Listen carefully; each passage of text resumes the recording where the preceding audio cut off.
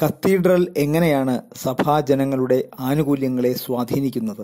ഇപ്പോൾ രണ്ടായിരത്തി ഒൻപതിൽ ഇത് കത്തീഡ്രലാക്കണമെന്ന് ബഹുമാനപ്പെട്ട ലോറൻസ് സാറ് രണ്ട് വർഷം ശ്രമിച്ചിട്ട് അത് നടക്കാതെ ഇരുന്ന ഒരു സമയമുണ്ടായിരുന്നു.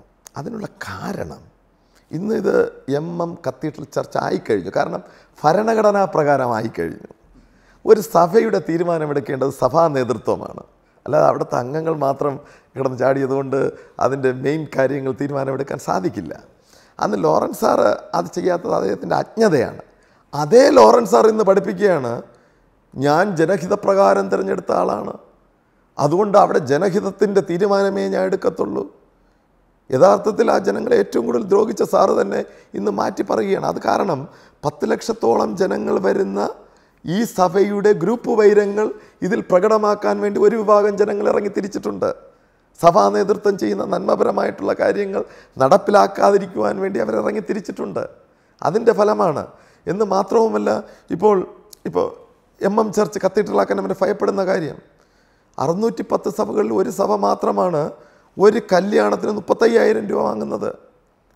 ഒരു ദിവസം അവിടെ ഒരു സി എസ് ഐക്കാരന് ഒരു പാവപ്പെട്ടവന് എൺപത് ശതമാനത്തോളം സി എസ് ഐക്കാരൻ പാവപ്പെട്ടവനാണെന്ന് ആലോചിക്കണം.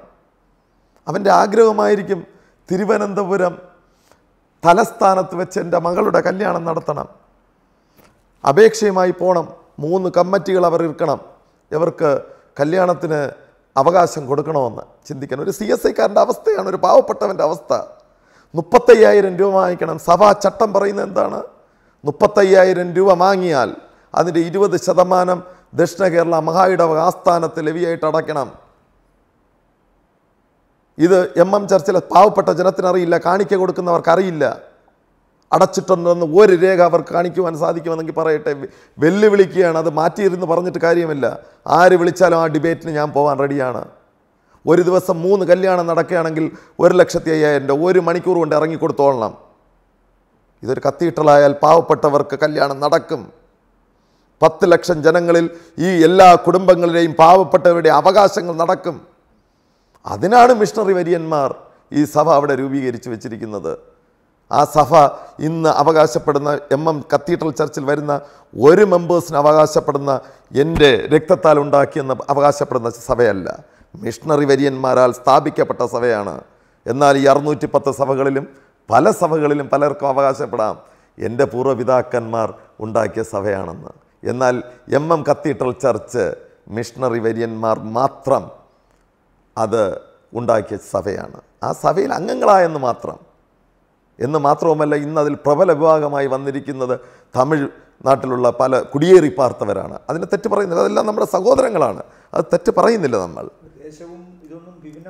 ഒരിക്കലും കാരണം ഇത് പിന്നെ കന്യാകുമാരിയിൽ നിന്ന് വിഭജിച്ച് വന്നതാണ് നമ്മുടെ സൗത്ത് കേരള അതുകൊണ്ട് അവർക്ക് അവകാശപ്പെട്ടത് തന്നെയാണ്. പക്ഷെ അവർ ആലോചിക്കേണ്ടത് മിഷണറി വര്യന്മാരാണ് ആ പതിനേഴര ഏക്കർ അവിടെ നമുക്ക് തന്നത്. അവിടെ ഒരു സെമിത്തേരി ഉണ്ട്.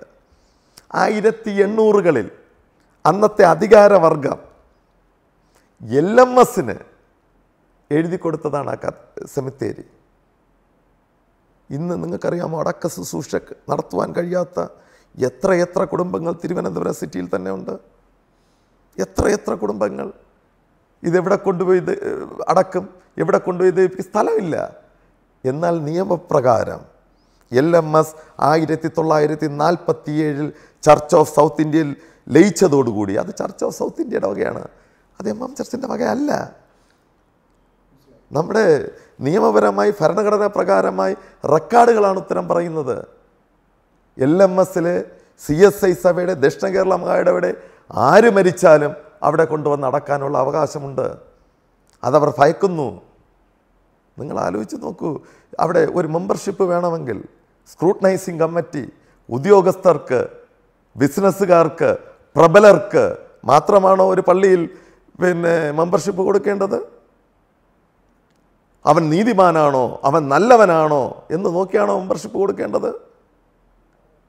ഇന്നത്തെ ക്രൈസ്തവ സഭ എത്രമാത്രം അധപ്പതിച്ചിട്ടുണ്ട് മത്തായി ഒമ്പതിന്റെ പതിമൂന്നിൽ പറയുന്നത് എന്താണ്? ഞാൻ നീതിമാന്മാരെ അന്വേഷിച്ചല്ല വന്നത്. പാപികളെ എത്രയും ഞാൻ അന്വേഷിച്ചു വന്നത്. ചുങ്കക്കാരനും പരീശനും കൂടെ പ്രാർത്ഥിച്ചപ്പോൾ ദൈവം ആരുടെ പ്രാർത്ഥന കേട്ടു എന്നാണ് വിശുദ്ധ വേദപുസ്തകം നമ്മെ പഠിപ്പിക്കുന്നത്? പരീശൻ പറയുന്നത് എന്താണ്?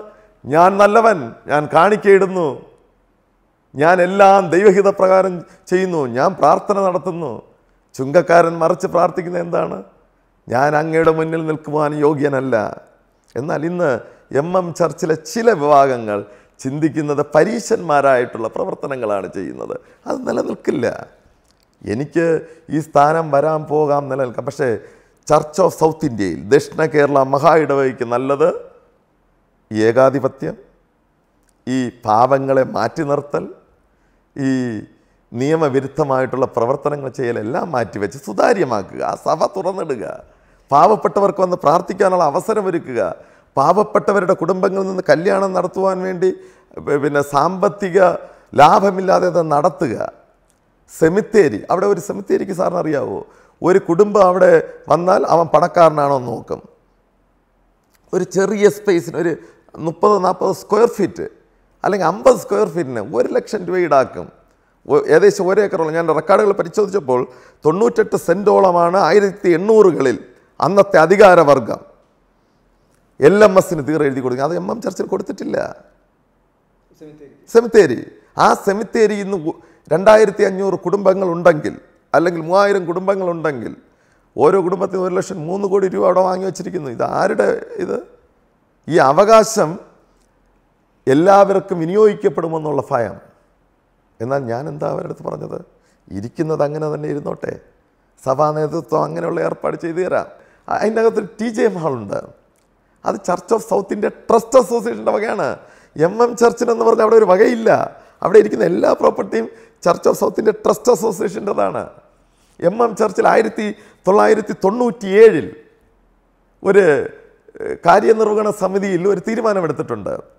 ഈ ടി ജെ എം ഹാളിന്റെ വാടക ആയിരത്തി തൊള്ളായിരത്തി തൊണ്ണൂറ്റി ഏഴിലെ കാര്യനിർവഹണ മിനിറ്റ്സ് പ്രകാരം എക്സിക്യൂട്ടീവ് തീരുമാനപ്രകാരം അവർ എടുത്തിരിക്കുന്ന തീരുമാനം അറുപത് ശതമാനം. ഇപ്പോൾ കിട്ടുന്നതിന്റെ വാടകയുടെ അറുപത് ശതമാനം ഇവർ എം എം ചർച്ച് എന്റെ പ്രവർത്തനങ്ങൾക്ക് വേണ്ടി ഉപയോഗിക്കുമെന്നും ബാക്കി നാൽപ്പത് ശതമാനം മഹാ ഇടവകയിൽ അടയ്ക്കുമെന്നാണ് തീരുമാനം എടുത്തിരിക്കുന്നത് ഏത് കണ്ടീഷനിലാണ് ആ തീരുമാനം എടുത്തിരിക്കുന്നത് ടി ജെ എം ഹാൾ വാടകയ്ക്ക് കൊടുക്കുന്നതിലും ടി ജെ ഹാളിന്റെയും ഒരു കമ്മിറ്റി രൂപീകരിച്ചിട്ടുണ്ട്. ആ കമ്മിറ്റിയിൽ മഹാ ഇടവ സെക്രട്ടറി അംഗമാണ്. ആ കമ്മിറ്റിയിൽ ബിഷപ്പ് അംഗമാണ്. ആ കമ്മിറ്റിയിൽ ജോയിന്റ് സെക്രട്ടറി അംഗമാണ്. ആ കമ്മിറ്റി ട്രഷറർ മായഡോ ട്രഷറർ അംഗമാണ്. ആ കമ്മിറ്റിയിൽ മായഡോ വൈസ് ചെയർമാൻ അംഗമാണ്. ആ കമ്മിറ്റിയിൽ ബിഷപ്പ് നിയോഗിക്കുന്ന സി എസ് ഐയിലെ വേറൊരു വ്യക്തി അംഗമാണ്. അങ്ങനെ മൊത്തത്തിൽ ആറ് പേർ. ആറ് പേർ ഇത് എം എം ചർച്ചിൽ നിന്ന്. അവിടുത്തെ സഭാധ്യക്ഷൻ പോയിട്ട് സഭാ കമ്മിറ്റിയിൽ നിന്ന് മൂന്ന് പേർ അല്ലാതെ മൂന്ന് പേർ. ഇന്ന് വരെ ആയിരത്തി തൊള്ളായിരത്തി തൊണ്ണൂറ്റേഴിന് ശേഷം എം എം കത്തീഡ്രൽ ചർച്ചിന്റെ അടുത്ത് ഇന്ന് ചോദിച്ചു നോക്കൂ ഒരു മിനിറ്റ്സ് ഉണ്ടോ എന്ന് ഈ അധികാര വർഗത്തിനെ വെച്ച് മീറ്റിംഗ് കൂടിയതിൽ ഒരു തീരുമാനമുണ്ടോ എന്ന് ഒന്ന് ചോദിച്ചു നോക്കൂ. ഈ നാൽപ്പത് ശതമാനം പൈസ മഹാ ഇടവകയിൽ അടയ്ക്കുന്നുണ്ടോ എന്ന് ചോദിച്ചു നോക്കൂ.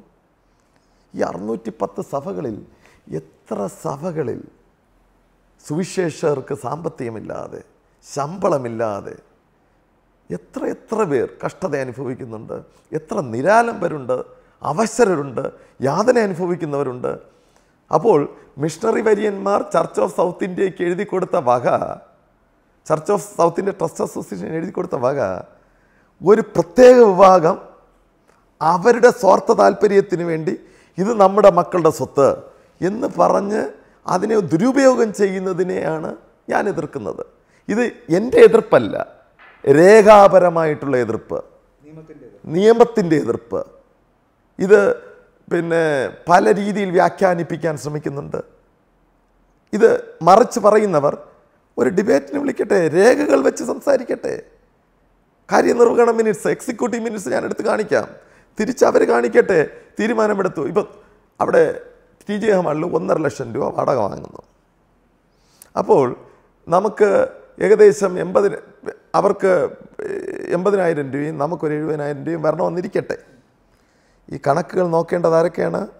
എം എം ചർച്ചിലെ സെക്രട്ടറിയും എം എം ചർച്ചിലെ അക്കൗണ്ടന്റും മഹാ ഇടവ് ട്രഷറിയും നോക്കണം.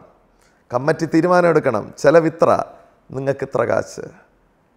എന്നാൽ അവരുടെ അതിപ്രാമാദിത്വം അവരുടെ അഹങ്കാരം അവരെന്ത് ചെയ്തു? ആരെയും വകവയ്ക്കില്ല നമ്മളാണ് വലുത്. ആ കാലം മാറി.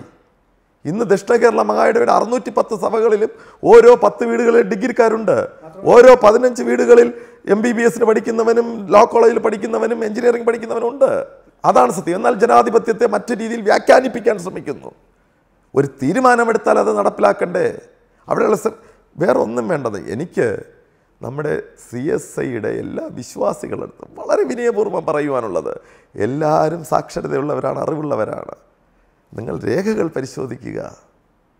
ഞാൻ വിശ്വസിക്കുന്നത് ഇന്ന് ദക്ഷിണ കേരള മകയുടെ അറുന്നൂറ്റി പത്ത് സഭകളിലും അറുന്നൂറ് സഭകളും ഇത് ആഗ്രഹിക്കുന്നുണ്ട്. അവിടെ ഒരു പ്രത്യേക വിഭാഗത്തിന് മാത്രം പരിഗണന മറ്റുള്ളവരെ അടിച്ചമർത്തുക. ഒന്ന് ആലോചിച്ച് നോക്കൂ ഇതിപ്പോൾ ശമ്പളമില്ലാതെ സ്വന്തം മക്കളെ പഠിപ്പിക്കുവാൻ നിർവാഹമില്ലാതെ കഴിയുന്ന എത്ര സുവിശേഷകർ ദൈവത്താൽ തിരഞ്ഞെടുക്കപ്പെട്ട അച്ഛന്മാർ എത്ര പേരുണ്ട്? ഇവിടെ ഇവർ ചെയ്യുന്ന എന്തുവാണ്? ഈ അവരുടെ ഇഷ്ടത്തിന് സാമ്പത്തികം ദുർവിനിയോഗം വിനിയോഗം ചെയ്യൽ. അത് നടക്കില്ല.